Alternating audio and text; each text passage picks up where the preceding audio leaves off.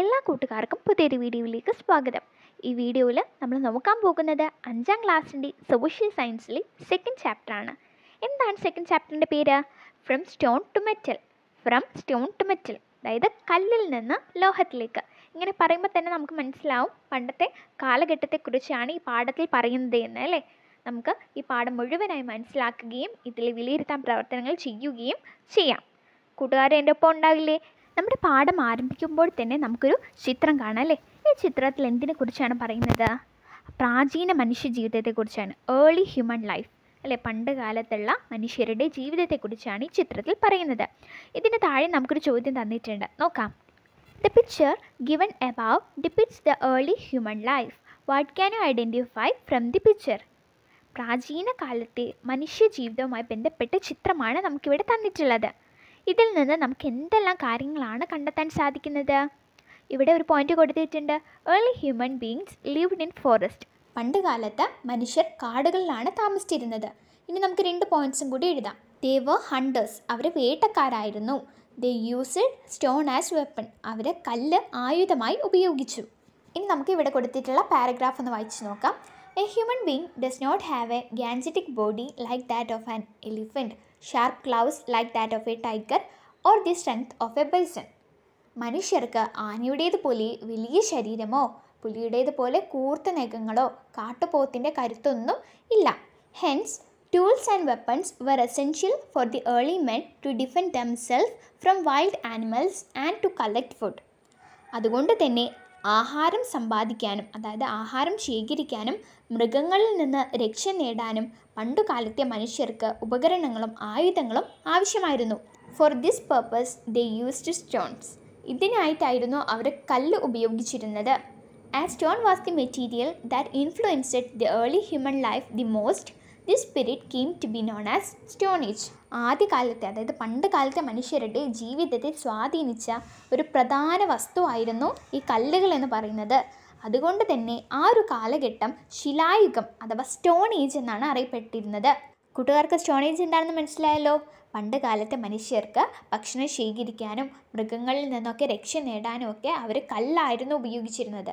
കല്ല് എന്ന് പറയുന്നത് അവരുടെ ജീവിതത്തെ സ്വാധീനിക്കുന്ന അല്ലെങ്കിൽ അവർക്ക് അത്യാവശ്യപ്പെട്ട ഒരു കാര്യമായിരുന്നു. അതുകൊണ്ട് തന്നെ ആ കാലഘട്ടത്തെ നമ്മൾ സ്റ്റോൺ ഏജ് എന്നാണ് പറയുന്നത്. Stone was the material that influenced the early human life so the spirit came to be known as stone age ഇനി നമുക്ക് പാലിയോളിത്തിക് ഏജിനെ കുറിച്ചാണ് പഠിക്കാനുള്ളത്. ഏത് ഏജാണ്? Paleolithic age. Paleolithic age old stone age എന്നും കൂടി അറിയപ്പെടുന്നുണ്ട്. ഇവിടെ നമുക്ക് ചിത്രത്തിൽ കാണാൻ പറ്റുന്നത് പാലിയോളിത്തിക് ഏജിൽ ഉപയോഗിച്ചിരുന്ന കല്ല് കൊണ്ടുള്ള ആയുധങ്ങളാണ്. The rough stones that the early humans used can be seen in the picture paleolithic ഏജിൽ അവർ ഉപയോഗിച്ചിരുന്നത് റഫ് സ്റ്റോൺസ് ആണ് പരുക്കൻ കല്ലുകളാണ്. നിങ്ങൾക്ക് ഈ ചിത്രത്തിൽ കാണുമ്പോൾ തന്നെ മനസ്സിലാവും അത് റഫായിട്ടാണുള്ളത് അല്ലേ? For what purpose might these stones have been used ഈ കല്ലുകളൊക്കെ അവർ എന്തിനായിരിക്കും ഉപയോഗിച്ചിരിക്കുന്നത്? ടു ഹണ്ട് ആനിമൽസ് മൃഗങ്ങളെ വേട്ടയാടാൻ. To defend oneself from the attack of animals മൃഗങ്ങളിൽ നിന്ന് രക്ഷ നേടാൻ മൃഗങ്ങളുടെ ആക്രമണങ്ങളിൽ നിന്ന് രക്ഷ നേടാനും അവർ ഇതുപോലുള്ള കല്ലുകൾ ഉപയോഗിച്ചിട്ടുണ്ടാകും. To dig up edible tubers കാട്ടുകിഴങ്ങുകൾ കുഴിച്ചെടുക്കാൻ. കിഴങ്ങുകളൊക്കെ കുഴിച്ചെടുക്കണ്ടേ? അതിനായിട്ട് അവർ ഈ കല്ലുകൾ ഉപയോഗിച്ചിട്ടുണ്ടാകും ഒരു പോയിന്റും കൂടി നമുക്ക് അവിടെ എഴുതി കൊടുക്കാം. ടു ബ്രേക്ക് ഫ്രൂട്ട്സ് പഴങ്ങൾ മുറിക്കുവാനും അവർ കല്ല് ഉപയോഗിച്ചിട്ടുണ്ടാകും. ഇനി നമുക്ക് പാലിയോളിത്തിക് ഏജ് എന്താണെന്ന് നോക്കാം. The period in which rough stones were used as tools and weapons is called paleolithic age or old stone age ആയുധങ്ങളും ഉപകരണങ്ങളുമായി പരുക്കൻ കല്ലുകൾ റഫ് സ്റ്റോൺസ് ഉപയോഗിച്ച കാലഘട്ടത്തെയാണ് നമ്മൾ പാലിയോളിത്തിക് ഏജ് എന്ന് പറയുന്നത്. കൂട്ടുകാർക്ക് മനസ്സിലായോ? ആദ്യം നമ്മൾ സ്റ്റോൺ ഏജ് എന്താണെന്ന് മനസ്സിലാക്കി. സ്റ്റോൺ ഏജ് എന്ന് പറഞ്ഞിട്ടുണ്ടെങ്കിൽ കല്ലുകൾ നമ്മൾ ആയുധങ്ങളോ ഉപകരണങ്ങളൊക്കെ ആയി ഉപയോഗിച്ച കാലഘട്ടമാണ് സ്റ്റോൺ ഏജ് എന്ന് പറയുന്നത്. പിന്നെ നമ്മളിപ്പോൾ പാലിയോളിത്തിക് ഏജ് എന്താണെന്ന് മനസ്സിലാക്കി. പാലിയോളിത്തിക് ഏജ് എന്ന് പറഞ്ഞിട്ടുണ്ടെങ്കിൽ എന്താണ്? റഫ് സ്റ്റോൺസ് അതായത് പരുക്കൻ കല്ലുകൾ ഉപയോഗിച്ചിരുന്ന കാലഘട്ടം. During this age man lived in caves and ate fruits and tubers and meat of hunted animals the use of fire was an invention of this age ഗുഹകളിലായിരുന്നു അക്കാലത്ത് മനുഷ്യരുടെ താമസം. കാട്ടിൽ നിന്ന് കിട്ടുന്ന കിഴങ്ങുകളും പഴങ്ങളും വേട്ടയാടി കിട്ടുന്ന മൃഗങ്ങളുടെ മാംസവുമായിരുന്നു അവർ ഭക്ഷണമായിട്ട് കഴിച്ചിട്ടുണ്ടായിരുന്നത്. അക്കാലത്താണ് മനുഷ്യർ തീ ഉപയോഗിക്കാൻ തുടങ്ങിയത്. അതുകൊണ്ട് തന്നെ പാലിയോളിത്തിക് ഏജിലെ വലിയൊരു കണ്ടുപിടുത്തമായിരുന്നു തീയുടെ ഉപയോഗം എന്ന് പറയുന്നത്. ഇവിടെ നമുക്ക് പണ്ട് കാലത്തെ മനുഷ്യർ തീ ഉപയോഗിക്കുന്നത് കാണാം. കൂടാതെ ഒരു ചോദ്യം കൂടിയുണ്ട്. For what purposes fire might have been used by early man ആദ്യകാലത്തെ മനുഷ്യർ എന്തിനൊക്കെ ആയിരിക്കും തീ ഉപയോഗിച്ചിട്ടുണ്ടാവുക? ടു പ്രിപ്പയർ ഫുഡ് ഭക്ഷണം ഉണ്ടാക്കുന്നതിനായി ടു ഗെറ്റ് ലൈറ്റ് വെളിച്ചം ലഭിക്കുന്നതിനായി ടു എസ്കേപ്പ് ഫ്രം കോൾഡ് തണുപ്പിൽ നിന്ന് രക്ഷ നേടുന്നതിനായി ടു ഫ്രിട്ടൺ വൈൽഡ് ആനിമൽസ് വന്യമൃഗങ്ങളെ പീഡിപ്പിക്കുന്നതിനായി. ഈ നാല് കാര്യങ്ങൾക്കും അവർ തീ ഉപയോഗിച്ചിട്ടുണ്ടാകും. ഇനി നമുക്ക് നിയോളിത്തിക് ഏജ് എന്താണെന്ന് നോക്കാം. നിയോളിത്തിക് ഏജിൽ ഉപയോഗിച്ചിരുന്ന ആയുധങ്ങളുടെ ചിത്രമാണ് ഇവിടെ കൊടുത്തിട്ടുള്ളത്. കൂട്ടുകാരെ പാലിയോളിത്തിക് ഏജിലെയും നിയോളിത്തിക് ഏജിലെയും ആയുധങ്ങൾക്ക് എന്തെങ്കിലും വ്യത്യാസം കൂട്ടുകാർക്ക് തോന്നുന്നുണ്ടോ? What differences do these weapons have from those of the paleolithic age neolithic ഏജിലെ ആയുധങ്ങൾ കൂടുതൽ മൂർച്ചയുള്ളതാണ് അല്ലെ ഷാർപ്പറാണ് കൂടാതെ മിനുസപ്പെടുത്തിയിട്ടുള്ളതാണ് പോളിഷ്ഡ് ആണ് age that used the tools, implements, and weapons with the features discussed above is called Neolithic Age, New Stone Age. In this period, drastic transformation occurred in human life. ഇത്തരം സവിശേഷതകളുള്ള ഏതൊക്കെ സവിശേഷതകളാണ് കൂടുതൽ മൂർച്ചയുള്ളതും മിനുസപ്പെടുത്തിയ ആയുധങ്ങളും ഉപകരണങ്ങളും ഉപയോഗിച്ച കാലഘട്ടത്തെ നമ്മൾ ന്യൂലിത്തിക് ഏജ് എന്നാണ് പറയുന്നത്. ന്യൂലിത്തിക് ഏജിനെ നമ്മൾ ന്യൂ സ്റ്റോൺ ഏജ് എന്നും പറയുന്നുണ്ട്. പാലിയോലിത്തിക് ഏജിനെ നമ്മൾ ഓൾഡ് സ്റ്റോൺ ഏജ് എന്നാണ് പറയുന്നത്. ന്യൂലിത്തിക് ഏജിനെ നമ്മൾ ന്യൂ സ്റ്റോൺ ഏജ് എന്നാണ് പറയുന്നത്. ഈ ഒരു കാലഘട്ടത്തിൽ മനുഷ്യ ജീവിതത്തിൽ വളരെയധികം മാറ്റങ്ങൾ ഉണ്ടായിട്ടുണ്ട്. ആ മാറ്റങ്ങളെ സൂചിപ്പിക്കുന്ന നാല് ചിത്രങ്ങൾ നമുക്കിവിടെ തന്നിട്ടുണ്ട്. മനുഷ്യ ജീവിതത്തിലുണ്ടായ മാറ്റങ്ങളാണ് ഈ ചിത്രത്തിൽ സൂചിപ്പിക്കുന്നത്. കൂടാതെ നമുക്കൊരു ചോദ്യം തന്നിട്ടുണ്ട്. From the pictures what features can you identify from the human life in the neolithic age എന്താണ് ചോദ്യം? ചിത്രത്തിൽ നിന്ന് നിയോലിത്തിക് ഏജിലെ മനുഷ്യ ജീവിതത്തെക്കുറിച്ച് എന്തെല്ലാം കാര്യങ്ങൾ കണ്ടെത്താൻ സാധിക്കുന്നു? എൻഗേജ്ഡ് ഇൻ ഫാമിംഗ് കൃഷി ചെയ്തിരുന്നു. ഡെവലപ്ഡ് ഷെൽട്ടേഴ്സ് വാസസ്ഥലങ്ങൾ ഉണ്ടാക്കി. അതായത് അവർക്ക് താമസിക്കാനുള്ള സ്ഥലങ്ങളുണ്ടാക്കി ടാമഡ് ആനിമൽസ് മൃഗങ്ങളെ ഇണക്കി വളർത്തി. ടാമഡ് എന്ന് പറഞ്ഞിട്ടുണ്ടെങ്കിൽ ഇണക്കി വളർത്തുക എന്നാണ്. Made and used earthen pots മൺപാത്രങ്ങൾ ഉണ്ടാക്കുകയും അവ ഉപയോഗിക്കുകയും ചെയ്തു. വീവിങ് ഓഫ് ക്ലോത്ത്സ് തുണി നെയ്ത് ഉണ്ടാക്കി. ഇനി നമ്മളോട് ഇവിടെ ഒരു ചോദ്യം ചോദിക്കുന്നുണ്ട്. In what ways does neolithic age differ from the paleolithic age paleolithic ഏജും neolithic ഏജും തമ്മിലുള്ള വ്യത്യാസം എന്താണ്? പാലിയോളിത്തിക് ഏജിൽ rough stones were used as weapons പരുക്കൻ ശിലകളാണ് അവർ ആയുധങ്ങളായിട്ട് ഉപയോഗിച്ചിട്ടുണ്ടായിരുന്നത്. ആനിമൽസ് വർ ഹൺഡ്രഡ് മൃഗങ്ങളെ വേട്ടയാടി. കളക്റ്റഡ് ഫുഡ് ഭക്ഷണം ശേഖരിച്ചു. Knew the use of fire അവർക്ക് തീയുടെ ഉപയോഗം അറിയാമായിരുന്നു. ലീവ്ഡ് ഇൻ കീവ്സ് ഗുഹകളിലാണ് അവർ താമസിച്ചിരുന്നത്. ന്യൂലത്തിക് ഏജിന്റെ പ്രത്യേകതകൾ എന്തൊക്കെയാണ്? Smooth and polished stones were used as weapons മൂർച്ചയുള്ളതും മിനുസമുള്ളതുമായ കല്ലുകളാണ് അവർ ആയുധങ്ങളായിട്ട് ഉപയോഗിച്ചിരുന്നത്. Number and quality of weapons increased ആയുധങ്ങളുടെ എണ്ണവും അതിന്റെ ക്വാളിറ്റി അതിന്റെ മേന്മയും ഉയർന്നു. അഗ്രികൾച്ചർ വാസ് ബിഗൺ കൃഷി ആരംഭിച്ചു. ഡൊമസ്റ്റിക്കേറ്റഡ് ആനിമൽസ് മൃഗങ്ങളെ ഇണക്കി വളർത്തി. മെയ്ഡ് സെറ്റിൽമെന്റ്സ് വാസസ്ഥലങ്ങൾ ഉണ്ടാക്കി. ക്ലേ വെസൽസ് വർ മെയ്ഡ് മൺപാത്രങ്ങളുണ്ടാക്കി ഇങ്ങനെയെല്ലാമാണ് പാലിയോളിത്തിക് ഏജ് നിയോളിത്തിക് ഏജിൽ നിന്നും വ്യത്യാസപ്പെട്ടിരിക്കുന്നത്. ഇനി നമുക്ക് വെങ്കലയുഗം അഥവാ ബ്രോൺസ് ഏജ് എന്താണെന്ന് നോക്കാം. Later copper tools began to be used along with stone tools stone ടൂൾസിന്റെ ഒപ്പം തന്നെ അതായത് കല്ലുകൊണ്ടുള്ള ആയുധങ്ങളോടൊപ്പം തന്നെ മനുഷ്യർ പിന്നീട് ചെമ്പ് കൊണ്ടുള്ള ഉപകരണങ്ങളും ഉപയോഗിക്കാൻ തുടങ്ങി. Compare to stones copper was easier to sharpen and mould and was convenient to use കല്ലിനെ അപേക്ഷിച്ച് കൂടുതൽ മൂർച്ചപ്പെടുത്താവുന്നതും രൂപമാറ്റം വരുത്താവുന്നതും സൗകര്യപ്രദമായി ഉപയോഗിക്കാൻ കഴിയുന്നതുമായിരുന്നു ചെമ്പ്.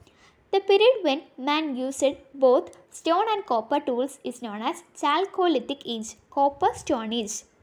കല്ലുകൊണ്ടും ചെമ്പുകൊണ്ടുള്ള ഉപകരണങ്ങളും ആയുധങ്ങളും മനുഷ്യർ ഉപയോഗിച്ചിരുന്ന കാലഘട്ടത്തെയാണ് നമ്മൾ ചാൽക്കോലിത്തിക് ഏജ് എന്ന് പറയുന്നത്. In course of time man discovered tin and learn to mix copper with tin to produce the alloy called bronze which was harder than copper തുടർന്ന് ഈയം ഈയം എന്ന് പറഞ്ഞിട്ടുണ്ടെങ്കിൽ ടിന്നാണ് ടിന്ന് കണ്ടെത്തുകയും ടിന്നും കോപ്പറും ഉരുക്കി ചേർത്ത് ബ്രോൺസ് എന്ന ലോഹസങ്കരം അലോയ് നിർമ്മിക്കുകയും ചെയ്തു. ബ്രോൺസ് കോപ്പറിനേക്കാളും കടുപ്പമുള്ളതാണ് കോപ്പറിനേക്കാളും ഉറപ്പുള്ളതാണ്. The age in which bronze was widely used to make weapons and tools is called bronze age ആയുധങ്ങളും ഉപകരണങ്ങളും ഉണ്ടാക്കാൻ ബ്രോൺസ് ഉപയോഗിച്ച കാലഘട്ടത്തെയാണ് നമ്മൾ ബ്രോൺസ് ഏജ് എന്ന് പറയുന്നത്. ചാൽക്കൊലത്തിക് ഏജ് എന്ന് പറഞ്ഞിട്ടുണ്ടെങ്കിൽ എന്തായിരുന്നു? കോപ്പറിനെ കൊണ്ടുള്ള ടൂൾസും സ്റ്റോണിനെ കൊണ്ടുള്ള ടൂൾസും ഉപയോഗിച്ച കാലഘട്ടത്തെ നമ്മൾ സാൽക്കൊലിത്തിക് ഏജ് എന്ന് പറഞ്ഞു. ഇനിയിപ്പോൾ ബ്രോൺസ് ഏജ് എന്ന് പറഞ്ഞിട്ടുണ്ടെങ്കിൽ എന്താണ്? ബ്രോൺസ് കൊണ്ടുള്ള ആയുധങ്ങളും ഉപകരണങ്ങളും ഉണ്ടാക്കാൻ ഉപയോഗിച്ച കാലഘട്ടത്തെയാണ് നമ്മൾ ബ്രോൺസ് ഏജ് എന്ന് പറയുന്നത്. ഇനി നമുക്കിവിടെ ഒരു ഫ്ലോ ചാർട്ട് തന്നിട്ടുണ്ട്. ഈ ഫ്ലോ ചാർട്ട് ഒന്ന് കംപ്ലീറ്റ് ആക്കാം. ഏറ്റവും താഴെ പാലിയോളിത്തിക് ഏജ് ആണ് കൊടുത്തിട്ടുള്ളത്. നമുക്കറിയാം പാലിയോളിത്തിക് ഏജ് കഴിഞ്ഞ് നിയോളിത്തിക് ഏജ് ആണ്. നിയോളിത്തിക് ഏജ് കഴിഞ്ഞ് ചാൽക്കോലിത്തിക് ഏജ് ചാൽക്കോളിത്തിക് ഏജ് കഴിഞ്ഞിട്ടാണ് ബ്രോൺസ് ഏജ് നമ്മളിപ്പോൾ അവസാനമായി പഠിച്ചിരിക്കുന്നത് ബ്രോൺസ് ഏജ് ആണ്. Let's find out the changes brought about in human life by the invention and use of bronze weapons and tools bronze കൊണ്ടുള്ള ആയുധങ്ങളുടെയും ഉപകരണങ്ങളുടെയും ഉപയോഗം മനുഷ്യ ജീവിതത്തിൽ എന്തെല്ലാം മാറ്റങ്ങളാണ് വരുത്തിയതെന്ന് നമുക്ക് നോക്കാം. During this period agriculture improved and resulted in better harvest the fertile soil of the river valleys and ample irrigation also helped in improving agriculture. ഈ ഒരു കാലഘട്ടത്തിലെ കൃഷി നന്നായി മെച്ചപ്പെടുകയും കാർഷികോൽപാദനത്തിൽ വർധനവുണ്ടാവുകയൊക്കെ ചെയ്തു.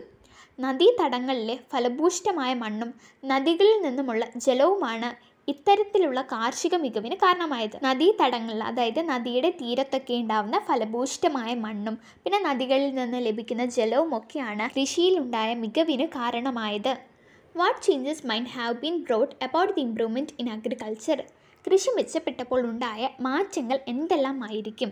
മൂന്ന് മാറ്റങ്ങളാണ് ഇവിടെ കൊടുത്തിട്ടുള്ളത്. The storage of surplus food grains അധികമായി ഉൽപ്പാദിപ്പിച്ച ഭക്ഷ്യവസ്തുക്കൾ സംഭരിക്കാൻ തുടങ്ങി. സർപ്ലസ് എന്ന് പറഞ്ഞിട്ടുണ്ടെങ്കിൽ അധികമായി വരുന്നതാണ്. അധികമായി വരുന്ന ഭക്ഷ്യവസ്തുക്കളൊക്കെ സംഭരിക്കാൻ തുടങ്ങി. Development of public places for the exchange of agricultural products കാർഷിക വിഭവങ്ങൾ കൈമാറ്റം ചെയ്യാനുള്ള പൊതുസ്ഥലങ്ങൾ രൂപം കൊണ്ടു മാർക്കറ്റ് പോലെ കാർഷിക വിഭവങ്ങൾ കൈമാറ്റം ചെയ്യാനുള്ള പൊതുസ്ഥലങ്ങൾ രൂപം കൊണ്ടു increase in the production and use of new agricultural tools. പുതിയ കാർഷിക ഉപകരണങ്ങളുടെ നിർമ്മാണവും ഉപയോഗവും വർദ്ധിച്ചു. പുതിയ പുതിയ കാർഷിക ഉപകരണങ്ങൾ നിർമ്മിക്കുവാനും അത് ഉപയോഗിക്കുവാനും ആരംഭിച്ചു. കൃഷി കൂടാതെ അക്കാലത്ത് ഉണ്ടായിരുന്ന രണ്ട് തൊഴിൽ മേഖലകളാണ് ഇവിടെ കൊടുത്തിട്ടുള്ളത്. ഒന്ന് ബ്രിക്ക് മേക്കിംഗ് ഇഷ്ടിക നിർമ്മാണവും.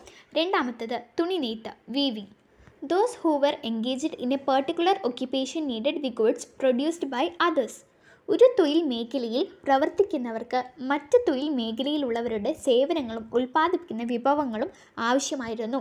ഒരു തൊഴിൽ ചെയ്യുന്നവർക്ക് മറ്റ് തൊഴിലിലുള്ള ആളുകളുടെയും സഹായം അവർ ഉൽപ്പാദിപ്പിക്കുന്ന വസ്തുക്കളും അവരുടെ സേവനങ്ങളും ആവശ്യമായി വന്നു. This necessitated the exchange of goods and it created a sense of mutual dependence among people ഈ കാരണം കൊണ്ട് അവർ ഉൽപ്പന്നങ്ങൾ കൈമാറ്റം ചെയ്യുവാൻ ആരംഭിച്ചു. ഇത്തരം കൈമാറ്റങ്ങൾ സമൂഹത്തിൽ പരസ്പര ആശ്രയത്വം വളർത്തി അതായത് പരസ്പരം അങ്ങോട്ടും ഇങ്ങോട്ടും സഹകരിച്ച് മുന്നോട്ട് പോകാൻ അവരെ പ്രേരിപ്പിച്ചു. കൂടുതലായിട്ട് ഉണ്ടാവുന്ന വിഭവങ്ങൾ അവർ മറ്റു സ്ഥലങ്ങളിലേക്ക് ദൂരെയുള്ള സ്ഥലങ്ങളിലേക്ക് കയറ്റി അയച്ചു. കരമാർഗവും കടൽ മാർഗവും കച്ചവട ബന്ധങ്ങൾ വളർന്നു വന്നു. അതിന്റെ ഭാഗമായിട്ട് അവർക്ക് ഗതാഗത സൗകര്യങ്ങൾ വികസിപ്പിക്കേണ്ടി വന്നു. ട്രാൻസ്പോർട്ടേഷൻ ഫെസിലിറ്റീസ് ഡെവലപ്പ് ചെയ്യേണ്ടി വന്നു. ഈ പ്രവർത്തനങ്ങളെ നിയന്ത്രിക്കുന്നതിനായി ഭരണ സംവിധാനങ്ങൾ രൂപപ്പെട്ടു.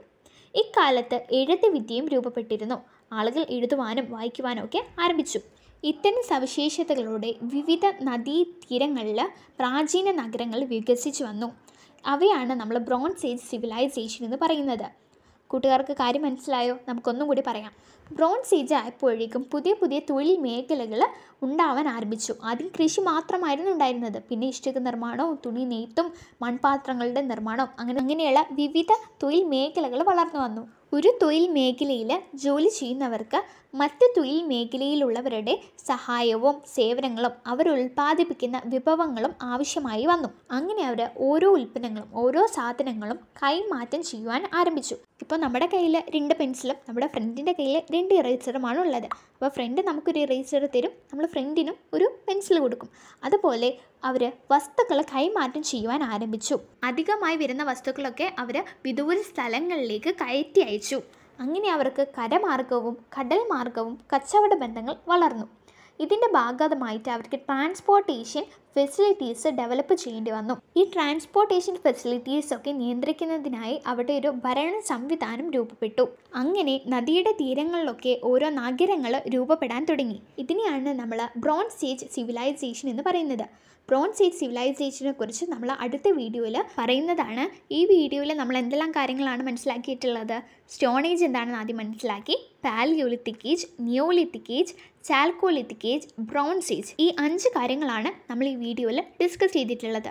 ഈ പാഠത്തിന്റെ ബാക്കി ഭാഗങ്ങൾ നമ്മൾ അടുത്തൊരു വീഡിയോയിലൂടെ പറയുന്നതാണ്. ഈ വീഡിയോ ഉപകാരപ്പെട്ടെങ്കിൽ കൂട്ടുകാർക്ക് ഷെയർ ചെയ്ത് കൊടുക്കുക. വീഡിയോയെക്കുറിച്ചുള്ള അഭിപ്രായങ്ങൾ കമന്റ് ബോക്സിലൂടെ അറിയിക്കാൻ മറക്കരുത്. മറ്റൊരു വീഡിയോയുമായി നമുക്ക് വീണ്ടും കാണാം. താങ്ക്